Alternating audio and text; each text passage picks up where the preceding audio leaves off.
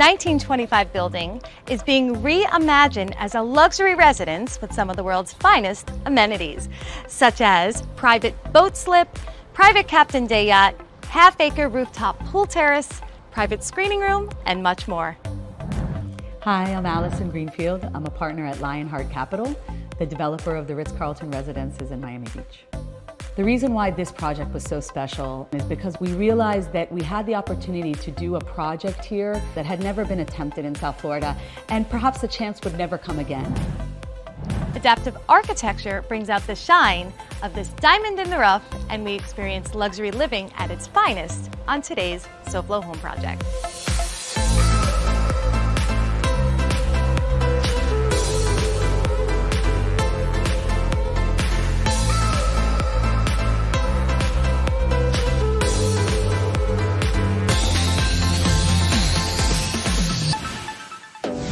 Welcome to SoFlo Home Project. I'm Alena Capra. Today we're exploring a truly amazing South Florida property. It's the site of the King Cole Hotel built in 1925, which later became the Miami Heart Institute and now begins its third life as the Ritz-Carlton Residences Miami Beach. The developers decided against knocking it down and pulled out all the stops to adapt the use of this structure.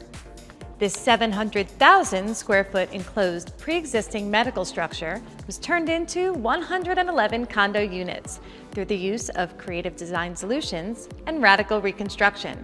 Balconies were added to every unit for residents to enjoy the amazing views.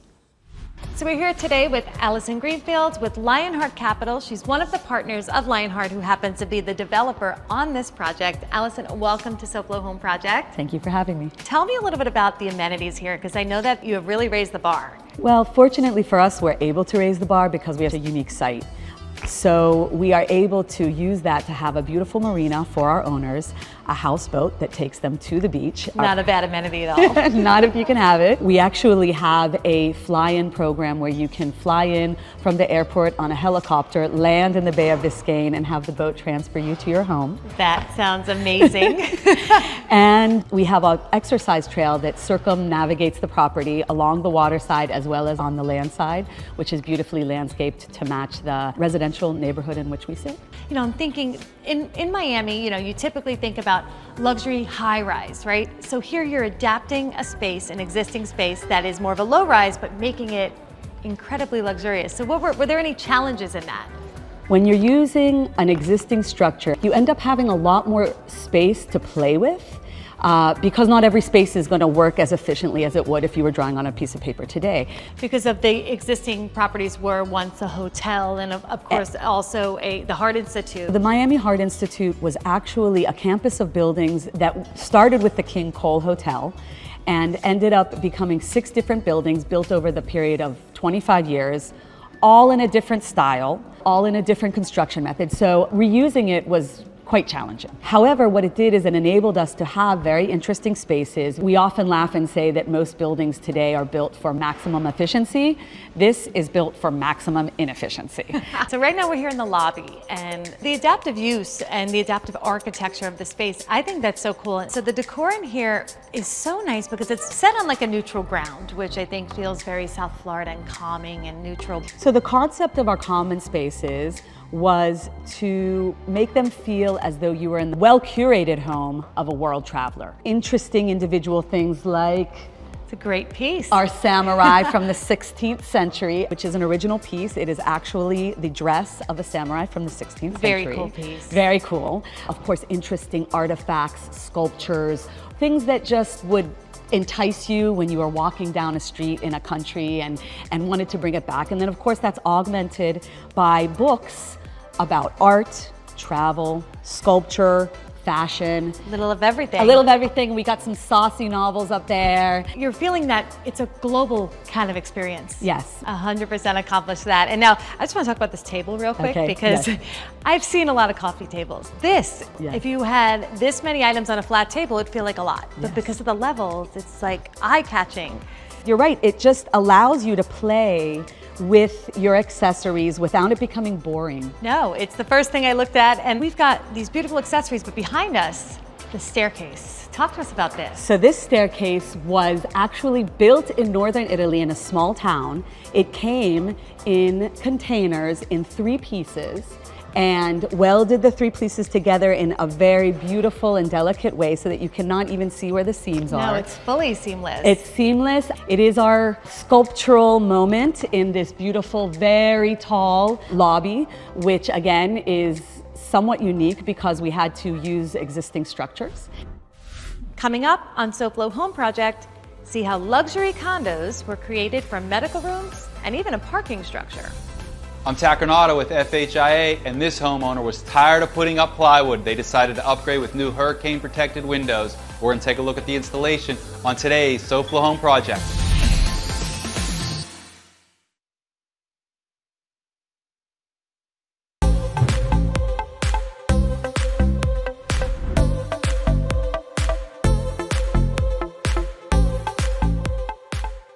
Welcome back to SoFlo Home Project. I'm Alena Capra and we're here today at the beautiful Ritz-Carlton Residences Miami Beach with Allison Greenfield from Lionheart Capital, one of the developers on this beautiful project. Allison, so now we're in one of the models and we're here in the living room and of course the first thing I notice is the high ceilings. This is not something you see every day in a condominium. Creating luxurious condos out of odd-sized spaces was a challenge solved with creative design that hid flaws and accentuated features. This 4,500 square foot three bedroom and 3.5 baths unit is a great example of that. One of the interesting things about doing adaptive reuse is the inefficiency of it. And one of the things that comes out of that inefficiency is that we end up with really interesting spaces that you would never be able to design today because they would just be cost prohibitive. The first, second, and third floor units have 12 and a half foot ceilings. They're like living in a loft in yeah, New York City. great ceiling height. Or Chicago. and that's why you have those ceiling heights in those cities because they have adapted an old building into a new use. Makes sense. Makes such a big difference because yeah. it just, something about a higher ceiling in a room makes it feel so light and airy and expansive and especially when you're by the beach and the water, the it view. all flows. Yes. So yes. now we've got this beautiful light here, by the way, yeah. which is just a stunning piece. Is, is this, this another is, Italian This piece? is Baxter, yes. This is one of their signature chandeliers, which is just awesome. Gorgeous. Gorgeous. And it's, it's, the most, and it plays to the ceiling height. Yes. Now you can't just do this in any old ceiling height. No. Because of the height. Of course. It yes. allows it. Yes, it does. We have so much light and air, as you said. We almost have to bring it down to yeah. ground it. Were there any other things in other uh, units um, that are different? Are there some loft spaces, I believe? Yes, we have, so as I said, 62 different layouts. And because this was a campus of six different buildings, built in different styles with varying ceiling heights, every building varied in the product that we were able to sort of polish out of the rawness of what we were given. In our west building, we have on the first four floors loft units. So they're living rooms with very high ceilings, 17 foot ceilings. Wow, a true loft living. Yes, a real loft. We had to move shear walls, we had to move cores, we had to move a lot of stuff that as a hospital they didn't care. They had a lot of things on the window wall that as a luxury residence would not make sense to have on your window you wall. You need the windows. You need the views, you need the glass, you need the light, you need the air. Well, these so. floor to ceiling windows truly allow you to appreciate all of Miami Beach. And speaking of windows, let's see what Tacronata from FHIA has for us today.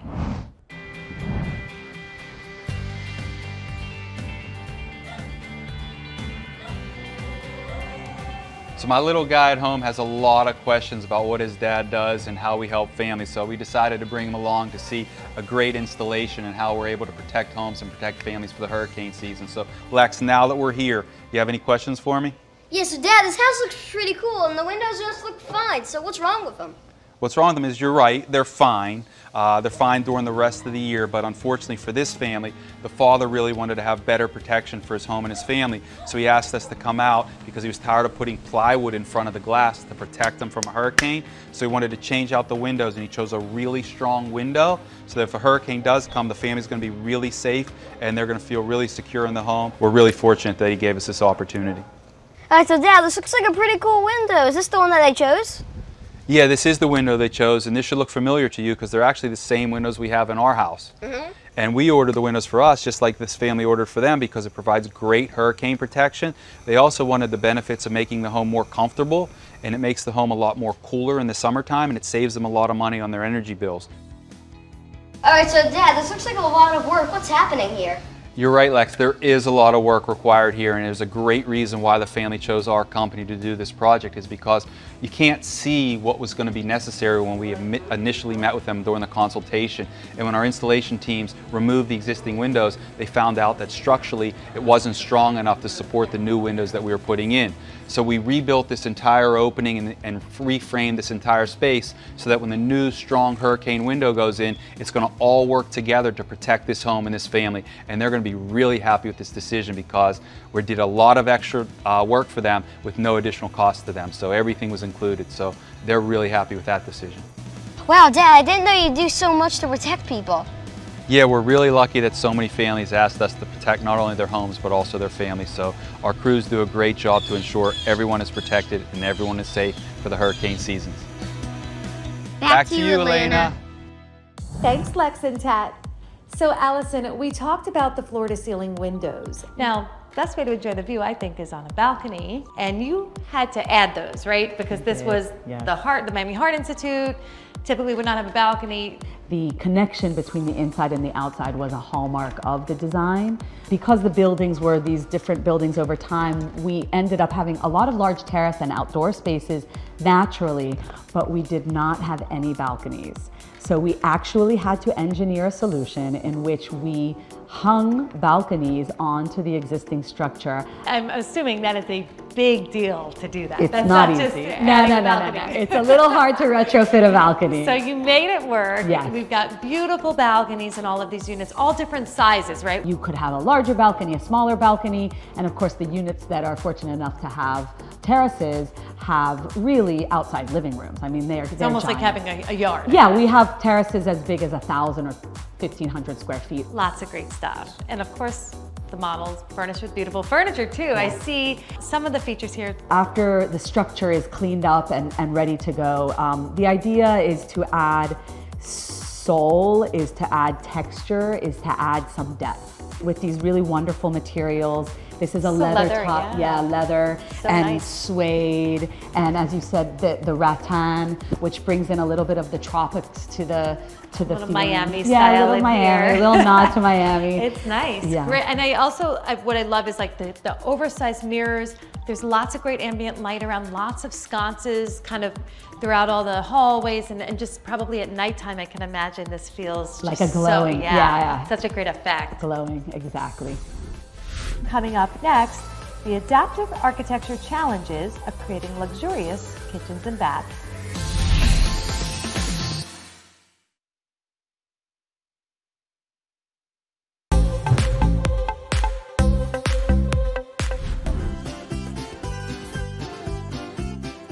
So Spiro, you always have great moving tips. Give our viewers a couple of easy things that they could do when they're preparing for the move. Sure. It's actually what they don't have to do. They don't have to empty out the dresser drawers. Uh, as long as it's just clothes and linen, nothing heavy, they can leave it as is because we're going to wrap the furniture and it'll keep the drawers shut. We also disassemble and reassemble furniture such as beds, pianos, uh, even desks with returns. And of course, we'll reassemble things on the other end. So what other tips do you got for our viewers?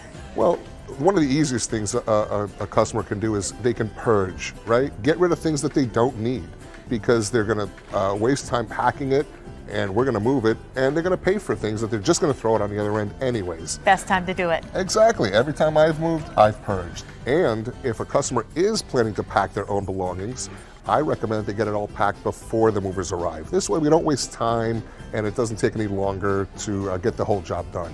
So when someone's thinking about a move, how much notice do they need to give to get everything in motion? We always recommend giving us as much notice as possible. 30 days is usually a good uh, good amount of time, but uh, we're also known as the same day move or last minute specialist. But uh, again, preparedness is a big key to moving. So, Spiro, from what I understand, everything with Good Greek is in house, correct? correct? Yeah. So, we're never getting people from the outside that do, not work for the company no. doing the deliveries. No, all of the movers, all of our employees are full time, they work exclusively for us. And uh, as I always emphasize, they've been background checked and drug tested, and many of them have been with us for many, many years. If someone is thinking about a move or even storage, how do they contact you? Very easy. Simply dial star star Greek from your cell or go to goodgreek.com. You make it sound so simple. That's right.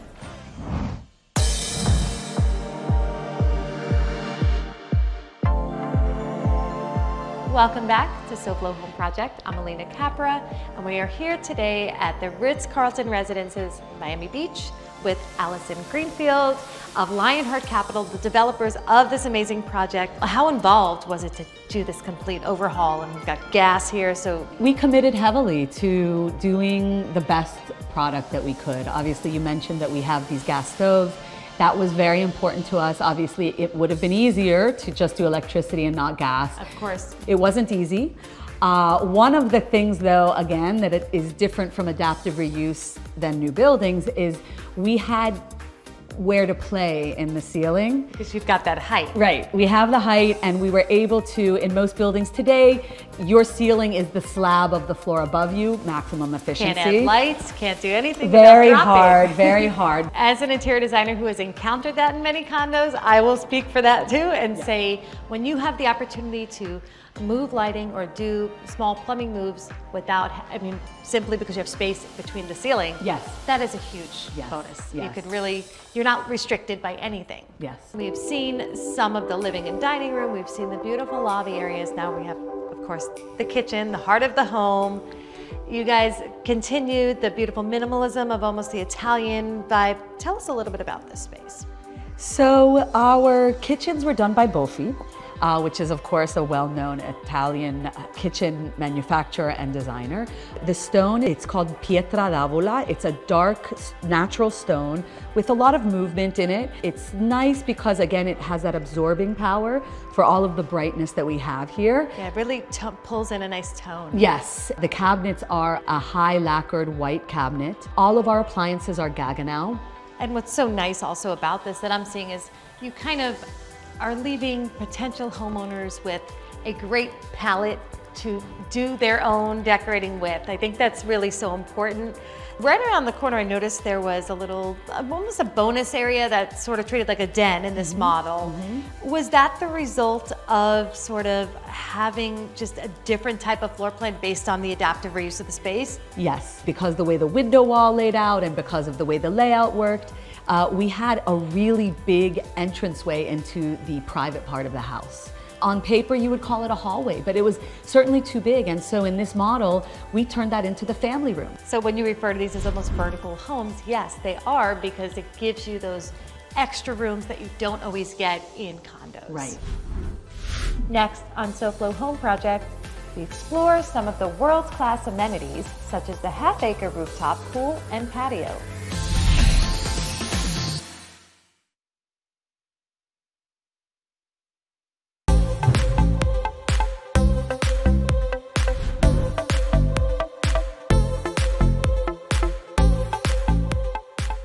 Welcome back to SoFlo Home Project. I'm Alena Capra and we're here with Allison Greenfield from Lionheart Capital, one of the developers of this amazing Ritz-Carlton residence in Miami Beach. Allison, we're on the final stop of our tour and I think this is the best spot. The rooftop pool deck. Tell us a little bit more about this space. So this space is interesting. It was the roof of the original parking garage. We took off one layer and we installed a pool 75 feet long with a beautiful fountain at one end.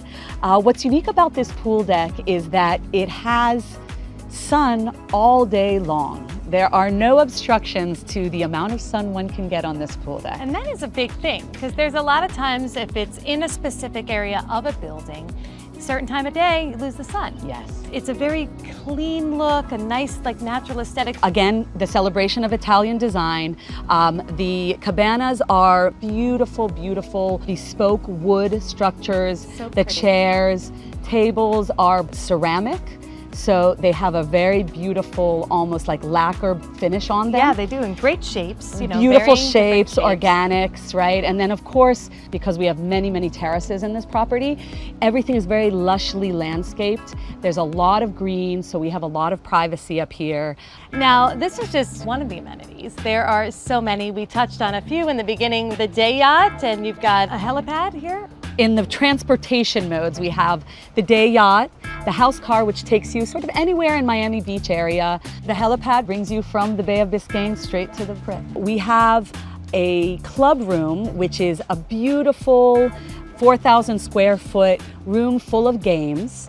And we tried to keep it as low tech as possible. Of course, the digital version is the golf simulator. We have a theater. Individual residents can reserve it, or at times we have group parties, hopefully again soon. We have, of course, our kids' room, and it's just a place for kids to go and be kids. It just has this wonderful, soft, fun, playful palette. We have the first ever art studio inside a private condominium residence. Wow, so tell us about that. That sounds very interesting and not something you hear about every day. We came up with a program called the Artist in Residence Program, which is a local artist every three months is here using our studio as a studio and also as a place for our residents to come and interact with that artist. Wow, that's so cool. And take lessons. The concept all along has been designed for life.